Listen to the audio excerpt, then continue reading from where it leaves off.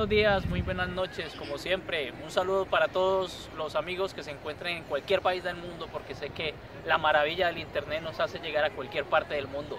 En este momento estoy hablando desde un sitio muy lindo, muy hermoso, cerca de los palacios de Buckingham Palace en Londres. Quiero manifestar algo muy lindo, aprovechando esta naturaleza tan hermosa que tengo alrededor. Nosotros realmente, si entendemos y comprendemos que somos naturaleza, que nuestro origen real es naturaleza. Es más, nuestro cuerpo vuelve a la madre naturaleza. ¿Eso qué nos indica? Que si nosotros estamos acordes a la naturaleza, la naturaleza nos da todas las enseñanzas que nosotros necesitamos. Nosotros no necesitamos ir a una universidad, ni a un colegio, ni a ningún sitio para comprender nuestro origen, nuestra esencia y de dónde realmente venimos y vamos. Nosotros somos una creación, pero esa creación es parte de la naturaleza y esa naturaleza es nuestra maestra. Cuando estoy hablando de este tema tan interesante, quiero dar a conocer algo muy importante. Es que la naturaleza nos va a enseñar que su armonía, si observan las flores, las plantas, los animales, viven en una armonía. Esa es la clase que nosotros vamos a recibir. Nuestra vida, si no la tenemos en armonía, acorde a lo que somos, que es nuestra naturaleza, vamos a tener problemas gravísimos vamos a tener problemas de salud, vamos a tener problemas emocionales. La armonía la tenemos que lograr y la armonía se logra lógicamente también en el silencio. Y si observa la naturaleza tiene una armonía y tiene un silencio, tiene una sincronicidad de belleza, de plenitud, de armonía, de inteligencia. La naturaleza funciona con inteligencia. Cada una de estas plantas que vemos alrededor, nuestros mares, nuestros ríos, nuestros lagos, nuestros árboles, tienen una conexión, tienen una armonía, tienen una vibración. Esa vibración es la frecuencia que vamos a buscar. La naturaleza es nuestra maestra. Nuestros indígenas nos lo daban muy claro y nos lo explicaban muy claro. Siempre tenían un respeto hacia la naturaleza. Es más, hacían unos rituales donde el sol, las estrellas, el agua, la lluvia, le daban un respeto y hacían un ritual de respeto, de honor, de agradecimiento. Tenemos que agradecer el sitio donde nacimos. Tenemos que ir a ese sitio donde nacimos y hacer un ritual de agradecimiento por permitirnos estar en este momento, en este espacio de vida, disfrutando de esta maravilla que nos da. Tenemos que vivir también en armonía, en silencio, en inteligencia, en afecto. La naturaleza es la madre, la madre de todas las clases, la madre de todos los ejemplos. Nosotros nos hemos salido desafortunadamente y nos hemos ido fuera de nuestro mundo natural y nos hemos inventado un mundo artificial, no acorde con la naturaleza. Mucho cuidado que ahorita la tecnología está buscando que todo sea artificial.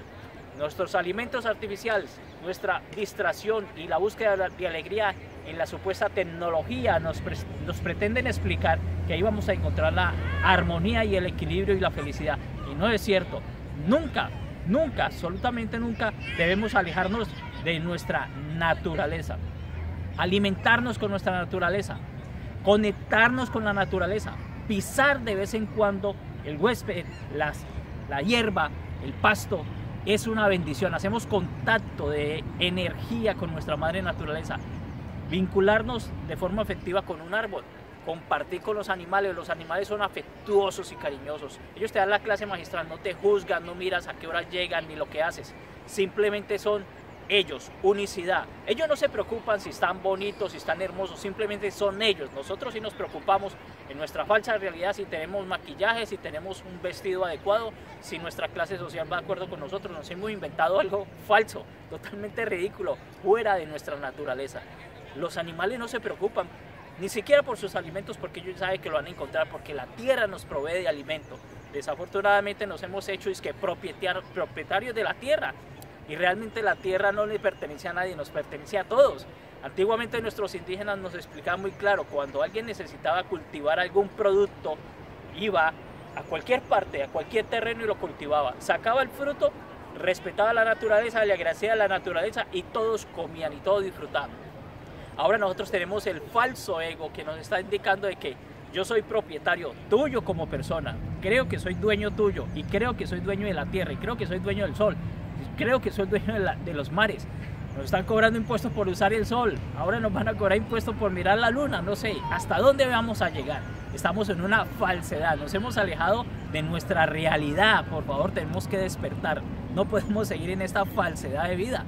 La tierra es algo que no le pertenece sino a todos, no a una sola persona. Y hoy en día se matan por tener propiedades, hoy en día se enfrentan por tener gas, petróleo. ¡Qué absurdo! Nosotros pensamos que nosotros somos dueños, uno, dos o tres, cuatro familias que están gerenciando este planeta, que son dueños de la tierra, del gas, del petróleo. Nosotros estamos creándonos una falsa expectativa, porque realmente esa tierra y esos beneficios que brinda la tierra nos pertenecen a todos podemos y debemos volver a nuestros ancestros, cultivar nosotros nuestra comida, nosotros cultivar y saber qué estamos comiendo porque ya no tenemos seguridad de lo que estamos consumiendo cuando vamos a un supermercado. Ya es algo curioso. La comida natural es carísima. Y hay centros especializados para comidas naturales para ciertas personas. Y la comida artificial te la ofrecen y te la venden baratísima en cualquier supermercado supuestamente en estos países de primer mundo, pero ese, ese, ese producto realmente no es natural, está híbrido, está mezclado. Entonces tenemos unas ideas donde vamos a creer que saliéndonos de nuestra naturaleza, de nuestro origen, nuestra esencia, vamos a lograr la salud mental, física, vamos a lograr realmente es que tener poder, salirnos de allí es, una, es el grave error del ser humano. Nosotros tenemos muy claro, venimos desnudos y nos vamos desnudos. Primer punto. La naturaleza le pertenece a todos los seres humanos y ese fue el regalo más grande que nos dio la creación. Para todos hay terreno, para todos hay espacio y es verdad, hay tierras donde realmente la gente no puede ir porque están grupos armados posesionados de esas zonas. Pero realmente hay tanta tierra y hay tanto mar y hay tanto agua y hay tanto fruto que nos da suficiente alimento a todos no esas ideas irracionales que necesitamos reducir población porque no alcanza el alimento. Hay suficiente alimento para todos, pero tenemos que respetar la madre naturaleza, la bendición. Mire todo lo hermoso que hay atrás, eso es una bendición. Nosotros somos eso, nosotros somos esos árboles, nosotros somos esas flores, nosotros somos esos pescados, nosotros somos todos estos hermosos frutos que nos ofrece la naturaleza. Somos eso también. ¿Cuándo vamos a comprender que estamos unificados? Somos una sola energía, una sola vibración. Y que todos si nos relacionamos como es la naturaleza, tranquila, acorde, en paz, en coordinación. Los animales tienen un conocimiento, un conocimiento que le llamamos sabiduría porque nacieron con ellos. No necesitamos que nos expliquen a nosotros cómo vivir. Los animales nos explican, la naturaleza nos explica cómo vivir en armonía, en organización, en respeto, usando lo que necesitamos y respetando y devolviendo con todos sus elementos a madre naturaleza, a otra persona que lo van a necesitar. Pensemos en nuestros hijos. Si destruimos, como están en este momento destruyendo el planeta a cambio de dinero, miren el problema que tienen en China que no se puede ni siquiera oxigenar y respirar. Se ha vendido todo a cambio de polución, a cambio de industrias, a cambio de billetes y billetes son papeles pintados, esa es la realidad y hemos otorgado un valor a un papel pintado a cambio de nuestra naturaleza y nuestra vida. El oxígeno es lo más hermoso y es lo que te permite la vida y no podemos acabar con el oxígeno. Tenemos que tener conciencia, tenemos que expandir esta idea a través de todo el planeta. Tenemos que respetar el sitio, la madre que nos acoge, que nos arropa, que nos brinda todos los climas, los cambios. Pero estamos alterando los climas, observen, Ahorita con este proyecto HAR que está sucediendo, que hay un aparato en cada país, Europa, América, Rusia, definen y determinan dónde va a llover, dónde va a haber sequía. Y la gente lo comprende y no entiende. Lo que son los chentras, lo que está sucediendo en el espacio, tirando nanotecnología para poder controlar y manipular el clima. Esto es horrible.